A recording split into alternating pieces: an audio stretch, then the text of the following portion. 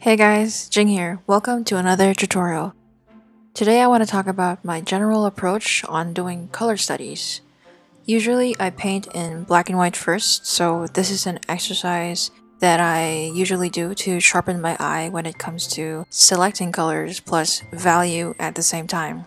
And I practice that by doing still life studies such as this pickle on a stick here, courtesy of the Food Paint Challenge on Instagram. I always like to get rid of the cold white color first on the canvas, that way it's not too sharp on the eyes. I would typically go for a light neutral tone just so it's not too hard to look at. What I'm doing here is I'm trying to get the silhouette of the pickle correctly. It doesn't really have to be 120% accurate, just getting the overall gesture of the pickle. I'll get the shading or the modeling factor that I have discussed in my previous rendering video. If you look closely, there is a bit of a red in the shadow area of the pickle. Generally, I tend to notice that the shadow color tends to complement the lit area of the object. Then I'll dive into the bumps or the stipples of the cucumber. Details like these tend to add character to this otherwise very plain subject. Adding in some highlights for the reflective part of the cucumber automatically pops the subject out of the canvas and therefore sells the form effectively. It seems like this light source is coming from a window outside. There's a hint of the blue sky and a warmer ground plane.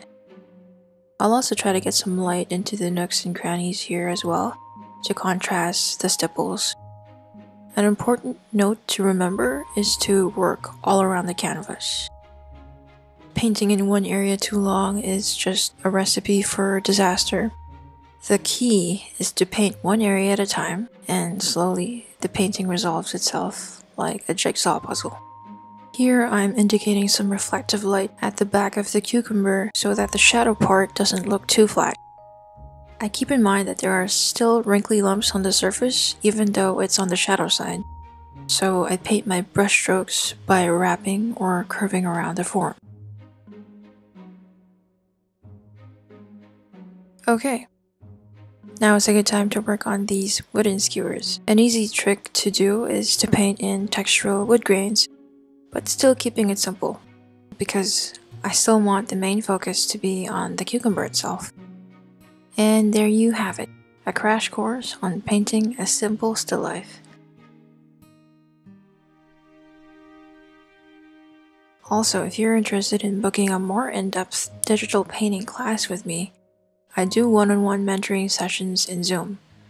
Sessions can be divided and catered depending on your requirement and focus. Some of the topics ranging from beginner to advanced include introduction to painting softwares like Procreate, Photoshop, and Clip Studio Paint, drawing in Disney or Saturday morning cartoons, how to approach character design in different styles, or art fundamentals such as still life painting. Thanks for watching. If you found this helpful, hit the like and subscribe button. For any class inquiries or what you would like to learn from me, you can reach me on my email in the description box below. Thank you for watching and I hope to see you soon.